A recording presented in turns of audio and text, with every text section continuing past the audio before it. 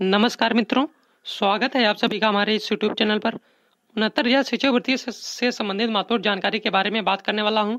तो जैसा कि आप लोगों को मालूम है कि कट ऑफ़ मुद्दे पर सुप्रीम कोर्ट में सुनवाई समाप्त हो चुकी है और आर्डर सुरक्षित कर लिया गया था। जैसा कि आप लोगों को बता दें कि जो हाई कोर्ट में सीबीआई जाँच वाली याचिका पर 6 अगस्त को सुनवाई होने वाली थी, जिसे खारिज कर दिया गया है, उसी पर बात करने वाला हूँ। तो यदि अभी तक आपने हमारे इस यूट्यूब चैनल चैनल को सब्सक्राइब नहीं किया है तो अवश्य सब्सक्राइब कर लें। और पास के बेल आइकन को प्रेस कर नोटिफिकेशन भी ऑन कर लें, जिससे कि हमारी ओर से प्रोवाइड की जाने वाली हरी वीडियो व जानकारी आपसे सबसे पहले पहुँच सके। तो चलिए शुरू करते हैं। इलाहाबाद हाईकोर्ट की लखनऊ खंडपीठ ने प्रदेश के प्राथमिक विद्यालयों में उनहत्तर हज़ार शिक्षक भर्ती मामले में सीबीआई जाँच कराए जाने की मांग वाली जनहित याचिका को खारिज कर दिया है।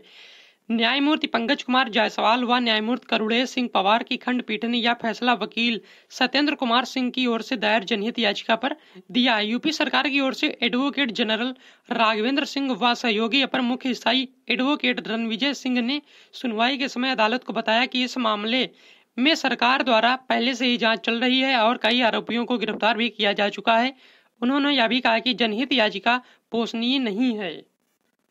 याची ने आरोप लगाया था कि प्रदेश में उनहत्तर हज़ार शिक्षक भर्ती मामले में भर्ती के नाम पर लोगों से पैसा लिया गया।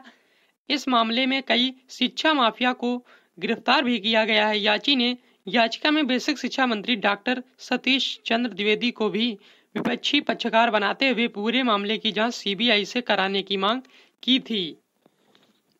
6 अगस्त की सुनवाई की मुसीबत भी टल गई और सुप्रीम कोर्ट के निर्णय का इंतज़ार है और अब शिक्षक भर्ती पूर्ण होने के आसार साफ़ नज़र आ रहे हैं। इसी प्रकार की महत्वपूर्ण जानकारी पाने के लिए हमारी ओर से प्रोवाइड की जाने वाली वीडियो को शेयर करते रहिए और चैनल के साथ बने रहिए। वीडियो को अवश्य लाइक कीजिएगा। मित्रों को ज़्यादा से ज़्यादा शेयर कीजिए। कमेंट बॉक्स में उनहत्तर हज़ार शिक्षा भर्ती से संबंधित कोई प्रश्न है तो अवश्य पूछिए। धन्यवाद।